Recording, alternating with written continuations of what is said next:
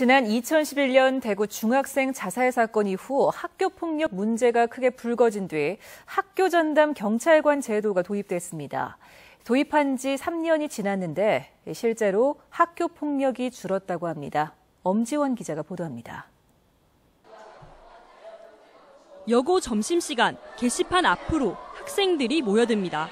삼촌뻘 경찰관과 스스럼 없이 웃고 떠들고 친구와 선생님에게 고마운 마음도 적어봅니다.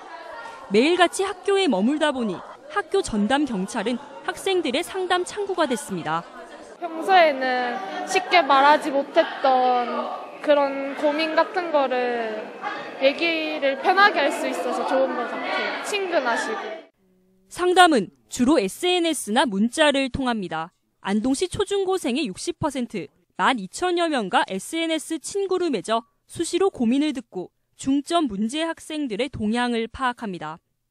몇 달 전 폭주족과 학생 성폭력 문제도 SNS 네트워크를 통해 해결됐습니다.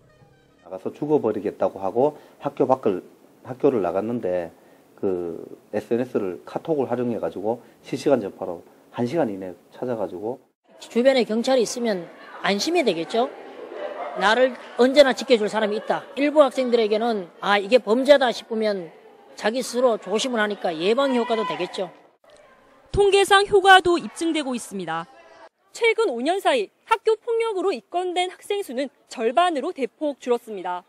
특히 학교 전담 경찰관제가 도입된 2012년을 기점으로 전국 48%, 경북은 53%, 안동은 73% 수준으로 줄었습니다. 이렇듯 학교 전담 경찰관제가 빛을 본 건 학생들에 대한 관심 때문이었습니다. 학교 폭력 등 문제는 결국 사소한 것에서 시작됐습니다. 관심들이 부족한 아이들이 결국에는 관심 받기 위해서 어떤 조금 벗어나는 그런 행동들을 하는 것 같고 주변에서 조금의 관심만 가져준다면 아마 학생들이 이제 건강한 학생들로 성장할 수 있도록 MBC 뉴스 엄지연입니다.